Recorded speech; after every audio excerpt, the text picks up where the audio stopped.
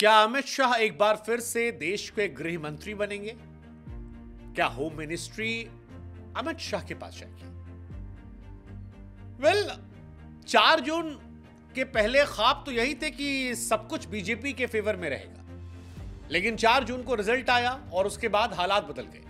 400 पार तो दूर बीजेपी खुद बहुमत के आंकड़े से दूर रह गई। लेकिन अब बीजेपी मज़बूत होगी या मजबूर होगी? यह सवाल इस बात पर निर्भर करता है कि क्या अमित शाह को मौका मिलेगा गृह मंत्रालय का, या जो खबरें चल रही हैं कि अमित शाह से गृह मंत्रालय ले लिया जाएगा?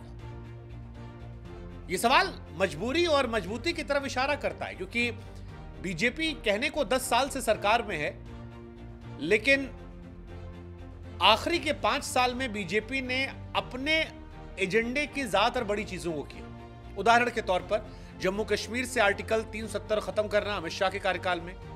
राम मंदिर का फैसला जो है, वो अमित शाह के कार्यकाल में आया, कहीं विरोध नहीं हुआ, सारा काम हो गया।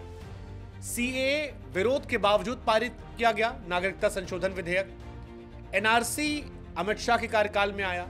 यूएपीए एक्ट में संशोधन अमित शाह के कार्यकाल में हुआ। एसपीजी संशोधन बिल अमित शाह के कार्यकाल में आया। लेकिन अब अमित शाह को लेकर क्वेश्चन मार्क है। और बीजेपी के सामने बड़ी बात यह है कि अभी बहुत सारे एजेंडे जो हैं वो बाकी हैं। इसीलिए हमें लगा ये सवाल हम आपसे पूछें कि क्या अमित शाह दोबारा होम मिनिस्टर बनेंगे? वेल इस सवाल का जवाब आप कमेंट सेक्शन में दें, लेकिन इसके अलावा अगर आप प्रोवो ऐप पर जाकर, जिसका लिंक हमने डिस्क्रिप्शन में डाल रखा है कमेंट सेक्शन में डाल रखा है, वहाँ जाकर अगर आप इस सवाल का जवाब देते हैं प्रोबो ऐप पर कि अमित शाह को देश का गृहमंत्री बनना चाहिए या नहीं बनना चाहिए तो आप ढेरों इनाम जीत सकते हैं। सिर्फ़ आपको इतना जवाब देना है कि अमित शाह देश के गृहमंत्री बनेंगे या नहीं बनेंगे। प्रोबो एक ऐसा ऐप है जो आपकी राय लेना पसंद करता है और आगे हमारे वीडियोस के माध्यम से हम आपको प्रोबो से जुड़े ऐसे बहुत सारे सवालों का, जो रोज़मर्रा के सवाल है, उनके जवाब हम आपको देते रहेंगे कि आपको जवाब देना है कि आप कमेंट सेक्शन में राय की जगह वहाँ रह दीजिए। प्रोबो वो ऐप है जिसके दो करोड़ से अधिक यूज़र है। आपकी राय लेता है केवल हाँ या ना में। सिर्फ़ आपको अमित शाह बनेंगे या नहीं बनेंगे हाँ या ना। और बहुत सारे नाम है। इंस्टेंट विड्रॉल है। दो करोड़ से अधिक यूज़र है और लीगलाइज ऐप है। क्रिकेट पॉलिटिक्स सब वहाँ चलता है। खैर, ये जवाब आप वहाँ दीजिएगा कमेंट सेक्शन से क्लिक करके। लेकिन हम आपको बता दें कि चंद्रबाबू नायडू और नीतीश कुमार के साथ ही सरकार बन रही है। अब नायडू और नीतीश कुमार वो इंसान है जो uniform, civil code C N R C places of worship act को ख़त्म करने, Muslim reservation, one nation, one election, इन तमाम मसलों पर बीजेपी की तरह सोच नहीं रखते। कहा जा रहा है बीजेपी जब गठबंधन में है तो गठबंधन के धर्म का पालन करेगी। गैर ज़रूरी मांगे जो हैं वो नहीं होंगी। अब बीजेपी क्या चाहती है? बीजेपी का प्लान चल रहा था कि वन नेशन, वन इलेक्शन हो जाए। यूनिफॉर्म सिविल कोड लागू कर दिया जाए, मुस्लिम आरक्षण खत्म कर दिया जाए प्लेसेस ऑफ़ वर्शिप एक्ट में बदलाव कर दिया जाए। इसके अलावा वक्फ बोर्ड खत्म करने की बात चल रही थी, महिला आरक्षण की बात चल रही थी, सत्तर साल के बुज़ुर्गों के लिए मुफ़्त इलाज पेपर लीक और बहुत सारे इश्यूज़ थे। इन तमाम मसलों पर बीजेपी प्लानिंग किए बैठे थे, सौ दिन के अंदर कुछ करेंगे।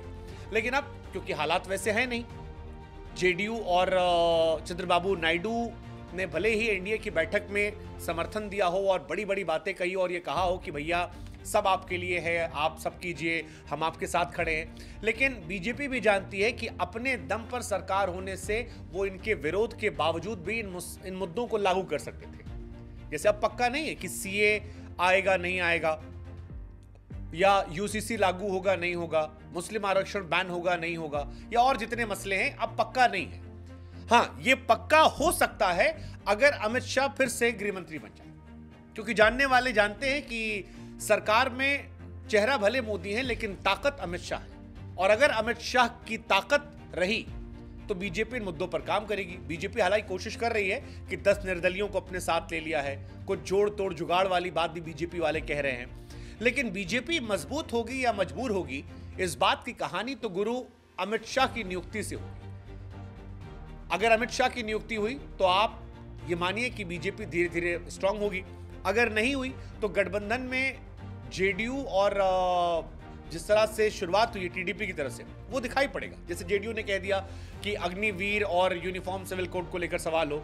अग्निवीर को लेकर जेडीयू ने क्लियर कहा कि अग्निवीर योजना को लेकर लोग नाराज़ हैं। हमारी पार्टी चाहती इस पर विचार हो। यूसीसी पर 10 साल पुराना स्टैंड हमने पहले ले रखा है तो अब उस पर कोई मतलब ही नहीं अब सरकार को जो करना होगा, वो पूछना पड़ेगा। ये सारी बातें लिख कर आएगी। आप पूछिए। मना, वो जो था नहीं वासेपुर में की, मना थोड़ी ना की लेकिन आप परमिशन तो लेना पड़ेगा ना, सर। आपको गठबंधन में आप हैं, अकेले थोड़ी ना है।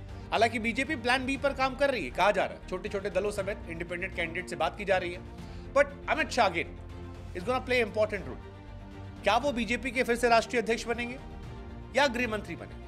अगर बीजेपी दो सौ बहत्तर के आंकड़े को पूरा कर सकती तो शायद वो गृह मंत्री बन जाएँगे। नहीं कर पाई तो वो साइड हो जाएँगे। और यही तय कर देगा बीजेपी मज़बूत है या मज़बूत है